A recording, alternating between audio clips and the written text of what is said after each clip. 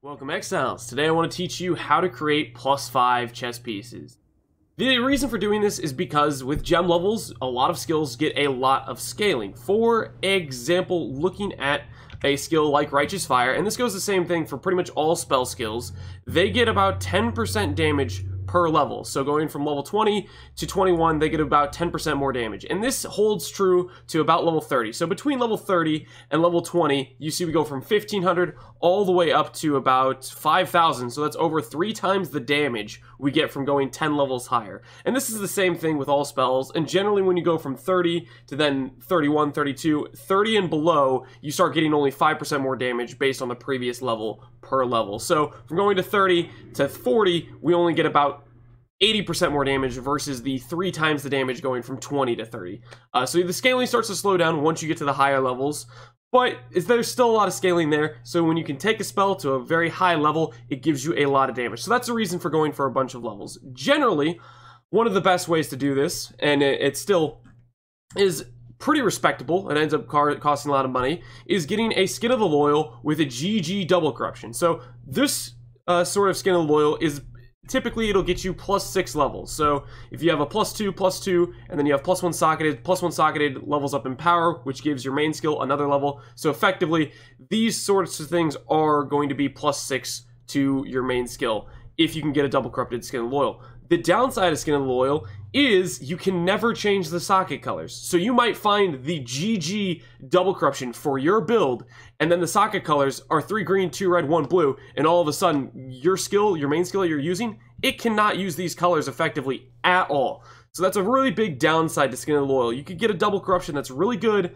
but then the skin, the, the colors, they just suck. So generally, if you if you start looking at uh, Skin of the Loyals with actually like decent colors, like a high amount of blues, which is what you want for a spell skill, you start looking at 70x plus. These start to get very expensive. So what I'm going to show you is a way to create a plus 5, which is still a pretty expensive craft, but on top of that, you can take it past the value of a Skin of the Loyal all the way to the Dream Chest, a plus 9 with a Double Corruption, which is 3 levels higher than Skin of the Loyal, as well as having 6 white sockets, so you can use any skill you want with it, pretty much just swapping in and out, as long as it has the same gem level scaling as the chest piece you're doing. And this was my project over the weekend. I ended up crafting eight of these chest pieces and double corrupting eight of these chest pieces. I had three bricks, so this is one of the bricks. The other two bricks are in my stash. I got four that hit no change. They hit white sockets, which is basically no upgrade for us. Nothing happens. And I had one double corruption. So right here, this chest piece itself is roughly a plus six for any projectile skill or in rare cases like a Holy Flame Totem, totem or a Molten Strike, this ends up being a plus 8 chest piece. Or Warcry Gems, that it's a plus 8 for those as well. The reality here is, at the tippy top of scaling, you could get plus 2 Strength, plus 1 Int, or plus 2 Int, plus 1 Strength, or plus 2 Dex, plus 1 Int, and then plus 1 Active, plus 1 Support, and then a plus 4 Corruption. So that's a plus 9 chest piece. That is the potential of what you could get. And with plus 9 armor, you can take pretty much any spell kill... Yeah, take any spell skill all the way to level 40. You have plus 9 that takes you from 21 to 30. You have plus 5 from a staff that takes you to 35. You have plus 3 from empower. That takes you all the way to 38. And then you have plus 2 from your amulet. And all of a sudden, pretty much any spell, if you have the correct, you know, say it's an AoE skill and you have AoE socketed gems, any AoE socketed gem skill, you can take all the way to level 40. And there are some use cases where you can take things beyond level 40. Say I have a fire skill like Purifying Flame, and I get the corruption of plus one socketed, that will allow me to take a support gem like Awakened Added Fire, which gives you a level at level 5, all the way to level 10. If I have a level 6 Awakened added fire, and I added plus 2 strength, plus 1 support, and plus 1 socketed. That takes it to level 10, and all of a sudden I get another 2 levels from Awakened added fire. There's some cool things you can do like that depending on which corruptions you get, and I think this is just a cool min-maxing portion of PoE. It's it's a very expensive thing to do. It's a costly adventure. Myself, in crafting all eight of these chest pieces, I think I spent somewhere in the range of 250 to 300x. Now, granted, initially, as I was doing this, I was in a learning process. I wasted a lot more money on the first few chest pieces as I refined this process and learned how to do it better.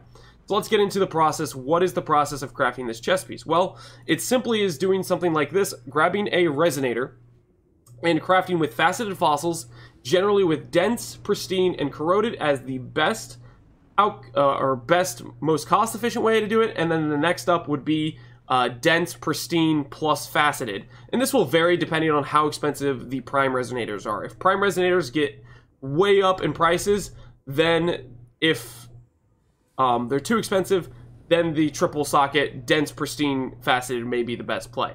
So let's look at crafting process of how you create one of these. I, I open this up into Craft of Exile.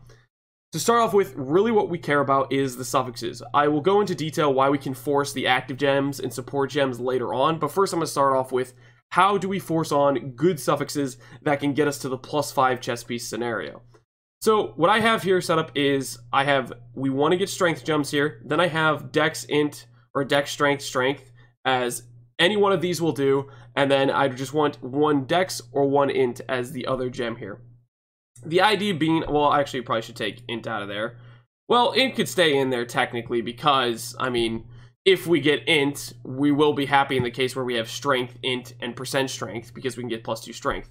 Now, the reason for this is when you elevate percent strength, percent dex, or percent intelligence, the elevated mod gives you another additional level. So the idea being here is you want to get the plus two to whatever thing you're going for, and then you want to get percent strength as well. Technically, if you hit the T2% strength or T2% dex. You can try to ride the gauntlet and try to Maven Orb to T1 and then Maven Orb to T0. Um, it's a risky thing to do, but you can definitely do that. I'll put in, in gems back in here. But the idea here is this, this socket resonator combination is about 40 tries on average for...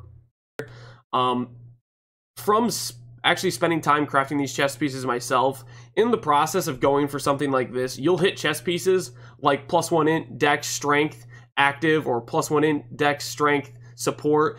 And chest pieces like those you can end up finishing up relatively cost efficiently and throwing at the double corruption chamber to see if you hit a gg double corrupt on like a plus eight or a pseudo plus nine for certain skills depending on what you're using um, so not all the time you're going to be spending 40 fossils before you'll get to the point where you get something good enough where you can take it to the double corruption chamber because a lot of times you, you'll end up hitting a plus four that's really good for say if I wanted to double corrupt this, I could still get a plus eight chest out of it type of deal. Or a plus five that is pretty freaking good for it's not well, it's a plus four for pretty much any skill, is what it ends up being because Dex, Strength, Int only ends up being a plus two for any respective skill gem. Um, so the reality is you'll hit usable chest piece before you get to this 40 mark, generally speaking. And a lot of times you'll hit the scenario where you get strength, percent strength, and you'll just want to be like, oh, I just want a cool uh, plus two strength chest piece, which ends up being a plus six for any strength gem like Flame Golem, like Stone Golem, which is what I might end up using this chest piece for, for example. Now, after you hit a good suffix combination, say that's say if you want to go for a chest piece like this, where it has the plus three and then support and active, and you want to double corrupt that, you're going to end up doing this crafting process for um, finishing out getting the plus one support and plus one active. Now, how do we do this? How do we guarantee this? The reason we chose Elder and the reason we chose Warlord is there is a small amount of influence prefixes. When we look at the pool, Elder, all it has is plus one support. Has Phys taking his fire, Reflect, Life, and then when you look at the Warlord pool, it's just Phys taking his fire, Active, and Phys Reflect. Now what we do here is we augment on fire. This will block the uh, heaviest mod pool, which is the 1000 weighting here and another 1000, oh, it's only 800 weighting for Elder. So it'll block 1800 weighting if we augment on that fire mod, and then we do augment influence. If we're doing augment influence, the only mods it can hit are support gems, Fizz Reflect, Life, Phys Reflect, and active gems. And in between that weighting, it's about 650, it hits a plus gem modifier, and about 1200 weighting, it hits the Life or the Phys. Uh, is it 1200? It might be closer to 1500 actually. I think it is closer to 1500 because you have 500 here, you have 800 here, and you have 200 here. So that's it. Nope, that's 1300. No, no, that's 1500. Math is hard sometimes. But 700 plus 800 is 1500. So you have 650 versus 1500. So roughly in the range of a little bit better than a 1 in 4. Yeah, a little bit better than a 1 in 4 is what you're looking at here. So you'll you have a good chance once you augment on an influence, you one in four chance you hit the influence mod you want. If you don't hit the influence mod you want, it's okay because the next augment influence is going to have even better weighting. It's going to be like a one in two chance if you hit if you hit Phys Reflect, you have 700 weighting that's taken out of the pool, and now it's between an 800 and a 650 weighting. You have really good odds you're going to hit a plus support gem. So the second augment influence has really good odds. The scenario is if you augment on an influence, you get support gems. What you can always do is you can always take off Re Reflect Phys, you can always take off the um, percent life. These things you can do remove Phys, remove life. If you remove the Phys taken as fire, you just remove another Phys and you augment fire back on and then go back to augmenting influence. Uh, the process here basically allows you to essentially always guarantee plus one active, plus one support within about I average usually doing this step in the range of 10 to 20x in buying harvest crafts to put on plus one support and plus one active. Because the reality is, if you have if you have a chest piece where you're trying to hit the suffixes and hit the support gem and hit the active gem, the odd oh that's redeemer. Whoops, I'm clicking on the one wrong one. And the active gem. Oh, that's not shaper. Yeah. And the active gem. The odds suddenly become I gotta put, separate these. They suddenly become way worse the odds of me hitting all these things together to begin with become 10 times more expensive when the reality is it's only going to add 10 to 20x on your initial investment there to finish it off with harvest. And a lot of times you'll hit a scenario where you already have active gems and you're just putting on support gems, in which case it'll be cheaper. Uh, it'll be less cost or less costly to you because you're only forcing on one more gem rather than two gems from the zero gems scenario on your prefix pool. So that is the crafting process to get yourself a plus five chest piece. I myself, when doing this, initially I started with int chest and int based chest pieces. These odds are roughly twice as bad as strength bases. Dex bases are in the middle. The reason being is int bases have mana, which I believe kind of screws up the uh, weightings for being able to hit certain things because you have another big prefix thing that's going to be hit a lot, and then that's going to make you less likely to hit a lot of suffixes type of deal. So definitely if you're doing this, I'd recommend going with an astral plate or going with some strength base that's a lower strength base if you're worried about your character not being able to have enough strength to wear an astral plate. That's what you want to look at doing because the idea is pretty simple. You want to be able to have the best odds at getting the plus gem levels so that way you can create a plus 5 chest piece and then maybe at some point you can take that all the way to a plus 9 which I'm probably going to continue to do in future leagues. This is a cool project that I like to do and spend my currency on because I think getting a plus 9 chest piece, being able to take any gem to level 40 or even beyond that, there are select cases I could take well beyond 40, like Wave of Conviction. There's some shenanigans you can do with Awakened Added Lightning, Awakened Added Fire, stuff like that. And there's really some cool things you can do with a chest piece like this. So Hopefully you guys enjoy the video about how to create a plus 5 chest piece, and maybe one of you will have the luck of double corrupting and getting a plus 9, and you'll be the envy of the crowd to have the only plus 9 in existence in Path of Exile history. Appreciate you guys watching the video, and I hope you have an excellent day.